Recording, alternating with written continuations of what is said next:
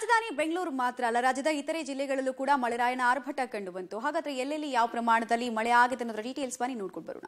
ಜಿಲ್ಲೆ ಜಿಲ್ಲೆಗಳಲ್ಲೂ ಆರ್ಭಟಿಸಿದ ಮಳೆರಾಯ, ಕೆರೆಯಂತಾದ ರಸ್ತೆಗಳು, ವಾಹನ ಸವಾರರ ಪರದಾಟ, ರಸ್ತೆ ಸಂಪರ್ಕ ಕಟ್, ಜನ ಪರದಾಟ. ಗಡಿ ಜಿಲ್ಲೆ ಬೀದರ್ನಲ್ಲಿ ಮಳೆ ಅವಾಂತರ ಭಾರೀ ಜೋರಾಗಿತ್ತು. ಬೀದರ್, ಹುಲಸೂರು, ಭಾಲ್ಕಿ, ಔರಾದ್ ಸೇರಿ ಹಲವೆಡೆ ಮಳೆಯಿಂದಾಗಿ ನಗರದ ಎಸ್ಪಿ ರಸ್ತೆ, ಎಸ್ಪಿ ಕಚೇರಿ ಟು ಮಂಗಲ್ಪೇಟೆ ರಸ್ತೆ ಜಲಮಯವಾಗಿತ್ತು.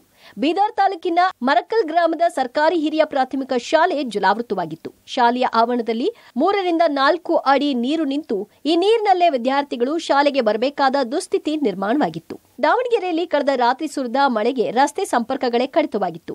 ಗ್ರಾಮಗಳಿಗೆ ಸಂಪರ್ಕ ಇಲ್ಲದೆ ಪರದಾಡುವಂತಹ ಸ್ಥಿತಿ ಎದುರಾಗಿದೆ. ಅದರಲ್ಲೂ ದಾವಣಗೆರೆ ತಾಲೂಕಿನ ಮಂಡಲೂರು, ಕಾಟೇಹಳ್ಳಿ ತಾಂಡಕ್ಕೆ ಸಂಪರ್ಕ ಹೊಂದುವ ರಸ್ತೆಯ ಸೇತುವೆ ಸಂಪೂರ್ಣ ಕೊಚ್ಚಿ ಹೋಗಿದ್ದು, ಎರಡು ಗ್ರಾಮಗಳಿಗೆ ಸಂಪರ್ಕ ಇಲ್ಲದಂತಾಗಿದೆ. ಅದರಲ್ಲೂ ಮಂಡಲೂರು ಗ್ರಾಮದ ರೈತರ ಬಹುತೇಕ ಜಮೀನುಗಳು ಕಾಟೇಹಳ್ಳಿ ಕಡೆ ಇದ್ದು ಸೇತುವೆ ಕೊಚ್ಚಿ ಹೋದ ಹಿನ್ನೆಲೆ ರೈತರಿಗೆ ಸಂಕಷ್ಟ ಎದುರಾಗಿದೆ. ಅಲ್ಲದೆ ಮಂಡಲೂರು ಗ್ರಾಮದ ಸುತ್ತಮುತ್ತ ಇರುವ ನಾಲ್ಕು ಸೇತುವೆಗಳು ಕೂಡ ಕೊಚ್ಚಿ ಹೋಗಿ ಬೇರೊಂದು ಕಡೆ ಗ್ರಾಮಸ್ಥರು ಹೋಗಬೇಕು ಅಂದ್ರೆ ಸಂಕಷ್ಟ ಅನುಭವಿಸುವಂತಾಗಿದೆ. ದಾವಣಗೆರೆ ತಾಲೂಕಿನ ಹೆಬ್ಬಾಳು, ಮಂಡಲೂರು ಹುಣಸೇಕಟ್ಟೆ ಸೇರಿದಂತೆ ಹಲವು ಕಡೆಗಳಲ್ಲಿ ಉತ್ತಮ ಮಳೆಯಾಗಿದ್ದು, ಮಳೆಯಿಂದ ಜಮೀನುಗಳು ಜಲಾವೃತವಾಗಿದೆ. ಹೆಬ್ಬಾಳು ಟೋಲ್ ಗೇಟ್ನಲ್ಲಿರುವಂತಹ ಕೆಲ ಅಂಗಡಿಗಳ ತ್ಯಾಜ್ಯ ಚಾನಲ್ಗೆ ಅಡ್ಡಲಾಗಿದ್ದರಿಂದ ಸರಾಗವಾಗಿ ನೀರು ಹರಿಯದೆ ಜಮೀನುಗಳಿಗೆ ಬಾಟಲ್ಗಳ ಹಾವಳಿ ಹೆಚ್ಚಾಗಿದೆ. ಇಡೀ ಜಮೀನಿನಲ್ಲಿ ಬಾಟಲ್ಗಳು ತುಂಬಿ ತುಳುಕ್ತಾ ಇದ್ದು, ರೈತರಿಗೆ ಸಂಕಷ್ಟ ಅನುಭವಿಸುವಂತಾಗಿದೆ.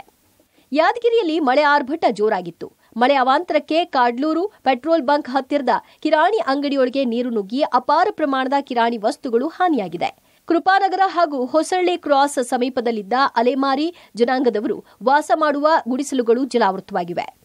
ಕೇರಳದಲ್ಲಿ ಮಳೆ ಆರ್ಭಟ ಹೆಚ್ಚಾಗಿದ್ದು ಭಾರೀ ಮಳೆಯಾಗ್ತಾ ಇದೆ. ಮಳೆ ನೀರು ಅರಬ್ಬಿ ಸಮುದ್ರ ಸೇರ್ತಾ ಇದ್ದು, ಗಡಿಭಾಗದ ಮಂಗಳೂರಿನ ಉಚ್ಚಿಲ, ಬಟ್ಟಪ್ಪಾಡಿ, ಸೋಮೇಶ್ವರ, ಉಳ್ಳಾಳದ ಕಡಲ ತೀರಗಳಲ್ಲಿ ಕಡಲ ಅಬ್ಬರ ಹೆಚ್ಚಾಗಿದೆ. ಜಿಲ್ಲೆಯಲ್ಲಿ ಮಳೆಯಾಗುವ ಮೊದಲೇ ಕಡಲು ಪ್ರಕ್ಷುಬ್ಧಗೊಂಡದ್ದು. ಕಡಲ ತೀರಕ್ಕೆ ರಕ್ಕಸ ಗಾತ್ರದ ಅಲೆಗಳು ಬಡಿಯಲಾರಂಭಿಸಿವೆ.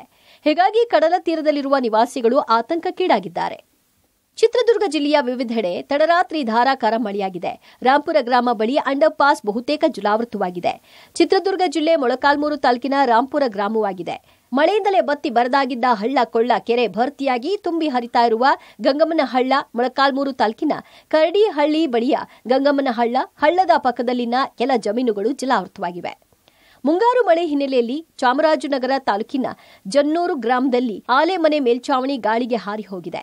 ಮಳೆಗೆ ಬಾಳೆ ಸೇರಿದಂತೆ ಇತರೆ ಬೆಳೆ ಕೂಡ ನಷ್ಟವಾಗಿದೆ. ಒಟ್ನಲ್ಲಿ ಮುಂಗಾರು ಮಳೆಗೆ ಜಿಲ್ಲೆಗಳಲ್ಲೂ ಅಲ್ಲೋಲ ಕಲ್ಲೋಲವಾಗಿದ್ದು ಜನ ಪರದಾಡುವಂತಾಯಿತು. District bureau public TV.